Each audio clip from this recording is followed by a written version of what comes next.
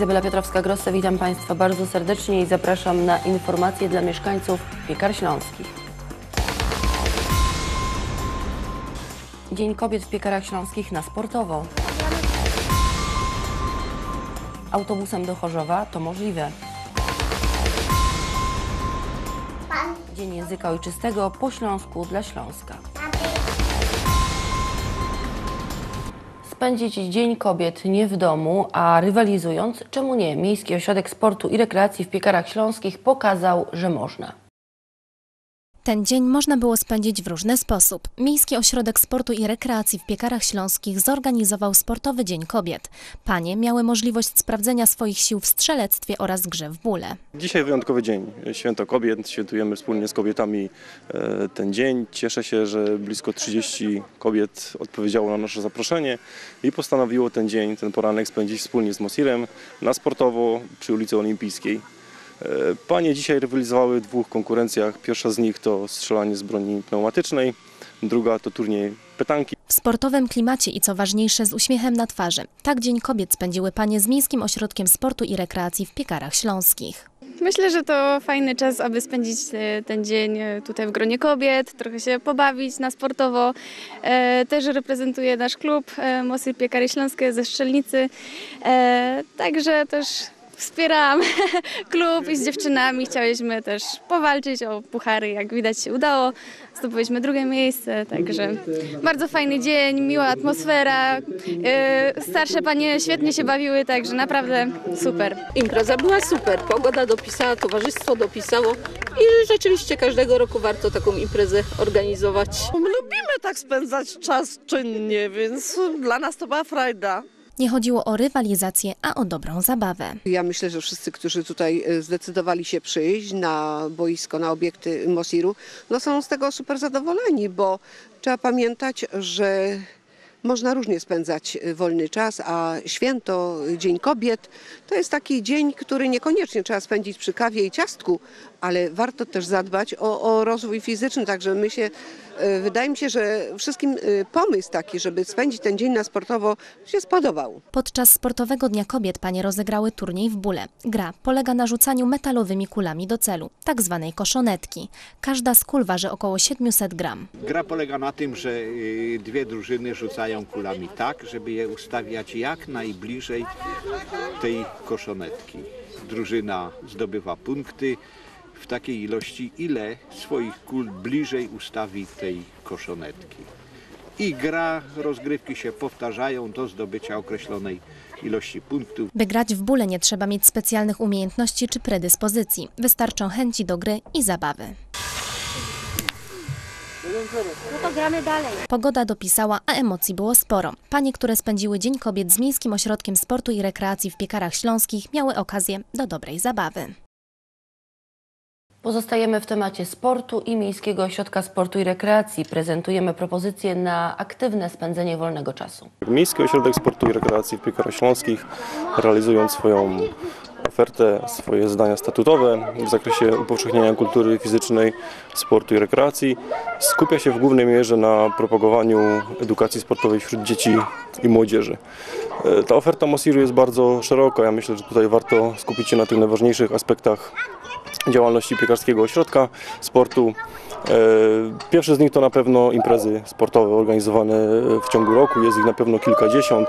To są imprezy skierowane nie tylko i wyłącznie do dzieci. Mamy ofertę dla seniorów, mamy ofertę dla całych rodzin. Wychodząc naprzeciw oczekiwaniom młodzieży, tych starszych osób, tak, w wieku 13-14 wzwyż, e, od dwóch lat e, realizujemy rozgrywki w ramach lig młodzieżowych.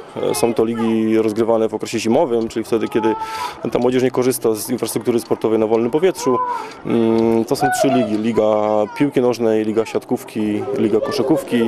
Cieszą się te rozgrywki bardzo dużą popularnością. W ubiegłym roku odnotowaliśmy 170 uczestników, więc myślę, że, że tutaj popyt na, takie, na tego rodzaju e, imprezy jest. E, To, czym na pewno Mosir może się pochwalić, to sekcje rekreacyjne działające przy naszym ośrodku. Jest ich w chwili obecnej dziewięć.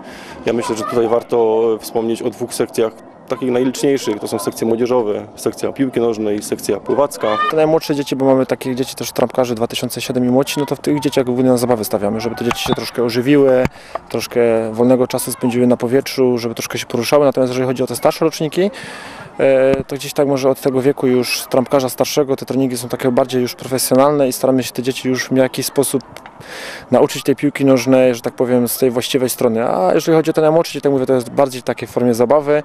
E, No i głównym celem trenaż jako sekcji piekarskiego Mosiru to tej piłki nożnej to jest przyciągnięcie dzieci przede wszystkim z osiedla Wieczorka, osiedle nowe, osiedle stare, e, piekary śląskie, szarle, e, do sportu przede wszystkim, nie tylko do piłki nożnej, ale ogólnie do sportu, bo przez piłkę nożną też gdzieś później te dzieci, wiemy, że dużo na przykład naszych wychowanków jako sekcji piłki nożnej Mosiru gdzieś później grali w piłkę ręczną, no też możemy się teraz akurat pochwalić takim osiągnięciem, że dziewczynka, nasza wychowanka, e, Klaudia Miłek otrzymała wczoraj powołanie do kadry Polski, także tutaj też akurat mm, w jakiś sposób udało się tą dziewczynkę do piłki nożnej przyciągnąć no i, i może akurat w przyszłości gdzieś zwiąże się już tak bardziej profesjonalnie z piłką nożną. Choć zima w tym roku okazała się wyjątkowo łaskawa, to ten temat nie znika wraz z brakiem śniegu. Niska emisja i sposoby, jak sobie z nią poradzić, to ważne ze względu na środowisko, na budżet i na zdrowie. Na szczęście dla środowiska i dla naszych portfeli zima w tym roku okazała się wyjątkowo łaskawa i zamiast arktycznej pogody mieliśmy do czynienia z umiarkowanymi temperaturami. W piecach zatem paliliśmy trochę mniej, trochę mniej jednak wcale nie ekologicznie. Z naszych kominów nadal wydobywa się toksyczny dym. Dym, który wpływa na jakość wdychanego przez nas powietrza i na nasze zdrowie. Jak bardzo jest toksyczny, przekonać się możemy w punktach badania jakości powietrza. Tych na terenie województwa śląskiego jest kilka, jeden w Katowicach. Tu analizowane jest to, co trafia do naszych płuc i niestety nie jest dobrze. O jakości powietrza informuje także tablica na budynku Wojewódzkiego Funduszu Ochrony Środowiska i Gospodarki Wodnej w Katowicach. Tu wyświetlane są aktualne stężenia pyłu w województwie śląskim. Ta instytucja także wychodzi z pomocą. Po raz kolejny bowiem realizowany jest program KAWKA, likwidacja niskiej emisji, wspierająca wzrost efektywności energetycznej i rozwój rozproszonych odnawialnych źródeł energii. To jest wdrożenie do prawa polskiego dyrektywy KAFE, czyli czyste powietrze dla Europy, stąd też pomysł na nazwanie tego programu KAFKA. Współfinansujemy razem z wojewódzkimi funduszami programy likwidacji niskiej emisji. Z jednej strony muszą być dla miast, w których są przekroczone limity, przede wszystkim pyłu PM2,5, pyłu PM10 i y, benzoalfapirenów, czyli tam, gdzie takie stężenia są przekroczone, będą programy ratunkowe, naprawcze, w jaki sposób zapobiegać tym zanieczyszczeniom i w jaki sposób dzięki inwestycjom zmniejszyć, e, e, zmniejszyć tę niską emisję. Obliczono, że realizacja programu KAWKA spowoduje w Polsce zmniejszenie emisji dwutlenku węgla o 68 tysięcy ton rocznie. Do powietrza trafi też w ciągu roku mniej niebezpiecznych pyłów. PM10 o 442 tony i PM2,5 o 426 ton. W efekcie dofinansowań w województwie śląskim nastąpi zmniejszenie emisji szkodliwych substancji do powietrza rocznie, pyłu o 90 ton na rok, dwutlenku węgla o ponad 8 tysięcy ton, dwutlenku siarki o 113 ton i tlenków azotu o 14 ton.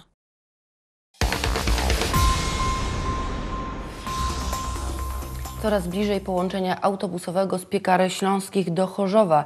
Efektem ostatniego spotkania prezydenta Stanisława Korfantego z prezydentem Bytomia Damianem Bartylą i prezesem KZK GOP Romanem Urbańczykiem jest zgoda na uruchomienie bezpośredniego połączenia na trasie Piekary Śląskie Bytom-Chorzów. Projekt KZK GOP zakłada, że autobus numer 192 jeździł będzie do Chorzowa w dni robocze w godzinach szczytów przewozowych, czyli od około godziny 5 do 8.30 i 13 do około 16.30. W sumie planuje się 36 kursów do przystanku końcowego Chorzów Rynek.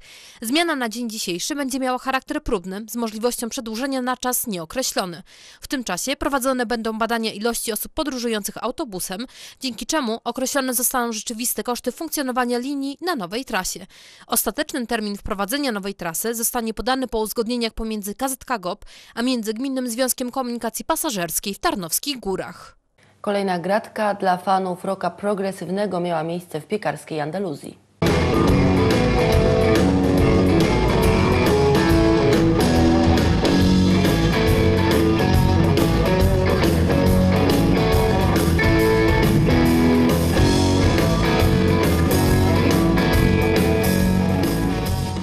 Wishbone Ash. Brytyjska grupa rockowa powstała pod koniec lat 60. XX wieku, odwiedziła piekary śląskie. Odwiedziła i zachwyciła nie tylko zebraną publiczność.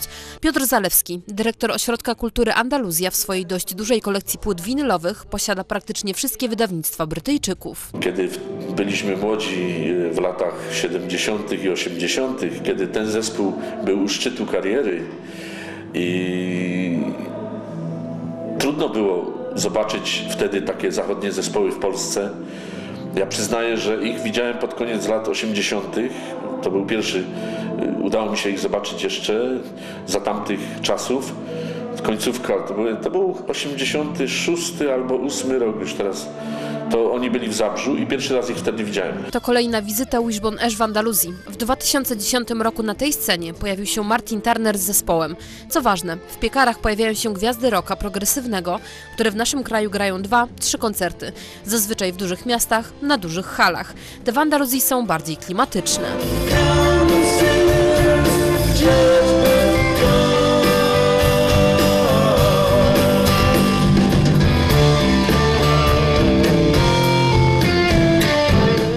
Miejsce kultowe i promujemy bardzo ładnie miasto. Wczoraj w Teleekspresie powiedzieli o piekarach, nie o Andaluzji, tylko że Wishbone dzisiaj wystąpi w Poznaniu, a jutro w piekarach śląskich. To nie koniec gwiazd na piekarskiej scenie. 15 marca w sobotę będzie Brian McComb z zespołem z Irlandii na Święto Patryka. Oryginalny irlandzki zespół z oryginalnymi, starymi instrumentami. Naprawdę zapraszam. To, to jest gratka, bo my tu mieliśmy chyba z 7 razy Karantuchil, bardzo dobry nasz zespół, ale teraz oryginalny też.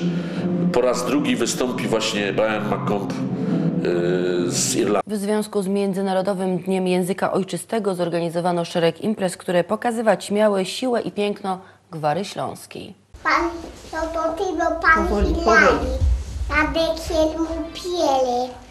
Lukaś Tin Bolocek podjął swoje byliny. Tylko w balotach, jak ja to macuję, to balotce wiki, psincu zmienić. Bajzec z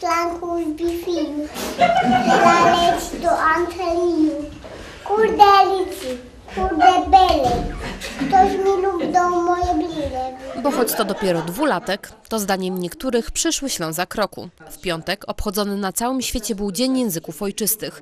To walka o to, by gwary czy języki wymierających narodów były pamiętane.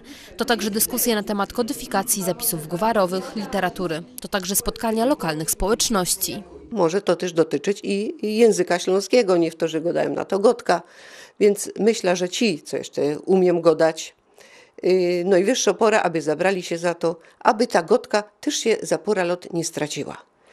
Stąd nasze inicjatywy, i czytanie po śląsku, i konkursy roztomajte, i apel do szkół, co by była edukacja regionalna, co by dać okazję tym, co chcą godać.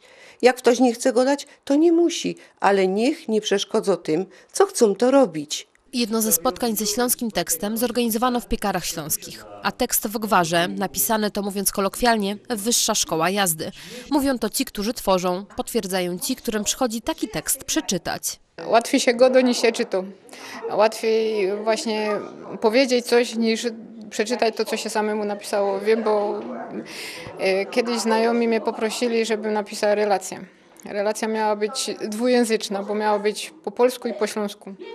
Więc nie pisała po śląsku, pisała najpierw poprawną polszczyzną, a potem dopiero tłumaczyła po mojemu. Gwara jednak pielęgnowana jest od najmłodszych lat. Rozpoczęliśmy przykładem piekarskim, tu przykład ludzki. Placówki oświatowe stawiają na lekcje regionalizmu, na rynkach wydawniczych pojawiają się elementarzy po śląsku. Ja też należę do tego pokolenia, że jak w szkole nie wolno było godać. Należało ładnie, poprawnie mówić.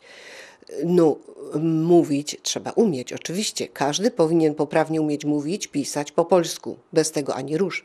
Ale trzeba pamiętać o swojej małej ojczyźnie i z tego się FES raduje, że są takie szkoły, jeszcze nie wszystkie.